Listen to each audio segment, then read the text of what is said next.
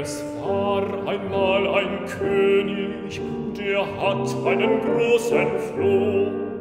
Den liebt er gar nicht wenig, als wie seinen eigenen Sohn. Da rief er seinen Schneider, der Schneider kam heran. Da missten Junker Kleider und miss im Hosenmann.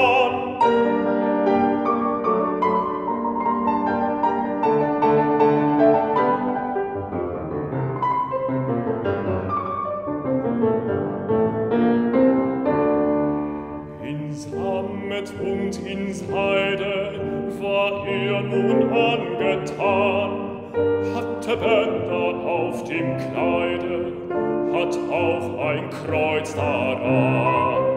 Und war sogleich Minister und hat einen großen Stern, da wurden seine Gespießer bei Hof auch große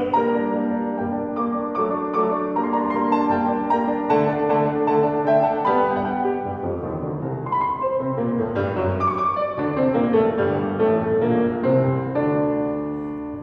Herren und Frauen am Hofe, die waren sehr geplagt, die Königin und die Zofe, gestochen und genagt, und durften sie nicht knicken, und weg sie jucken nicht,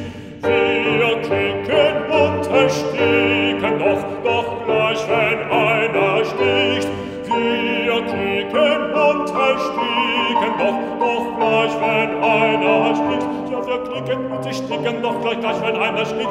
Ja, wir knicken und sie sticken, doch, doch gleich, wenn einer schlägt. I, i, i, i.